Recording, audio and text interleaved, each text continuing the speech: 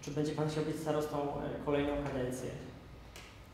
Y, To zależy od tego, jak y, pójdą wybory, tak? Y, Będziemy rozmawiać po wyborach po prostu, bo ja myślę, że no, bez koalicjanta nie da rady zbudować stabilnej większości w Radzie Powiatu. Ale nie wyklucza Pan takiego rozwoju sytuacji. Nie wykluczam. Mhm. A jakby Pan miał powiedzieć właśnie takie główne powody, dlaczego Pan chciałby być kolejną kadencję starostą?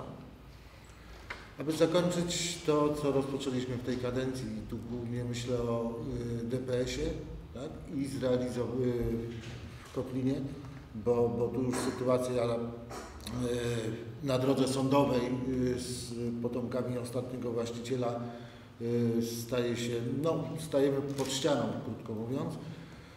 Y, Będziemy musieli zakrzew pewnie oddać. Oczywiście jeszcze jakiś czas będziemy się y, y, w sądach odwlekać te, te ostateczne decyzje. Na czerwiec, tak, czerwiec przyszłego roku jest planowane zakończenie inwestycji w Kotlinie, no później odbiory, to ja myślę, że, że w przyszłym roku, e, wczesną jesienią czy późnym latem będziemy mogli przenieść cały DPS z tym personelem e, i z tymi podopiecznymi e, do Kotlina. I druga bardzo istotna rzecz dla skomunikowania Jarocina, czyli jakby dokończenie tej naszej sztandarowej inwestycji, o której dzisiaj mówiliśmy, czyli ulica Powstańców i dalej zbudowanie od skrzyżowania y, Alei Niepodległości, tam gdzie z Powstańców się styka, aż y, wyjście do jedenastki, czyli takie dopełnienie y, tej drogi, tej, tej takiej nazwijmy to małej obwodnicy i myślę, że z gminą to y, jesteśmy w stanie zrobić w ramach następnego również WRPO. Y, Ten wniosek złożyliśmy jako powiat i ja myślę, że realizacja tych dwóch y, celów to jest y, najistotniejsza, nie mówiąc o stałym polepszaniu y, bazy naszych szkół i oczywiście utrzymanie szpitala i jego stały rozwój poprzez wzrost jakości świadczonych usług. Mhm. A proszę mi powiedzieć, co jest powodem tego, że na posiedzeniach komisji czy sesjach tak często Pan jest nieobecny, że Pan tak często wychodzi. Co, co jest tego powodem? No nie wiem, czy z sesji wychodziłem w ciągu ostatniego roku. Yy, raczej yy, Że większość dokumentów Była. podpisuje Pan Drzazga na przykład. też nie. Raczej, raczej nie. Tam jest yy, no, mnóstwo tego podpisuje.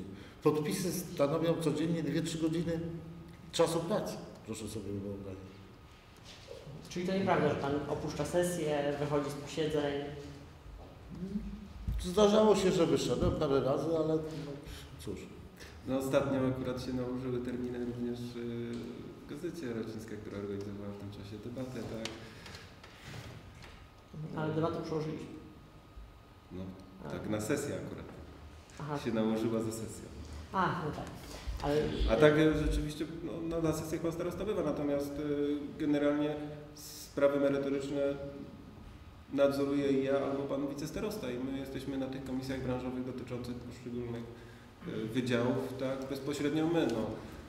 Plus dyrektorzy yy, wydziałów, tak? tak. czy jednostek naszych. Bo mówi się o tym, że tak naprawdę Pan nie rządzi, tylko Pan Drzazga. No To to się mówi. Ale czy to prawda? No chyba nie. Chyba Znaczy, na pewno. Proszę zauważyć, że e, powiat jest tak skonstruowany, że jest tutaj organ kolegialny, czyli zarząd powiatu. Y, U nas pięcioosobowy, chociaż e, zamiar był taki, aby e, budować trzyosobowy, na co no, nie było zgody większości i pozostał pięcioosobowy. Ale to większość decyzji podejmuje zarząd i ja najczęściej właśnie podpisuję za zarząd, bo miałem takie uprawnienie.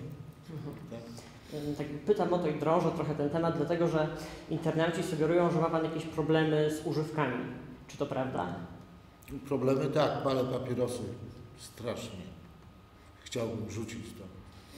Mhm. I to jest Pana jedyny problem z używkami. No, póki co to tak. Mhm. Innych problemów zdrowotnych Pan nie ma. No zdrowotne yy, są problemy, bo jak się ma blisko 60 lat, to wie pan jak yy, mówią kolokwialnie lekarze, jak wstajesz rano i cię nic nie boli, yy, to znaczy, że nie żyjesz, tak? To, bo taka, taka jest prawda. Organizm się zużywa tak jak, jak wszystko.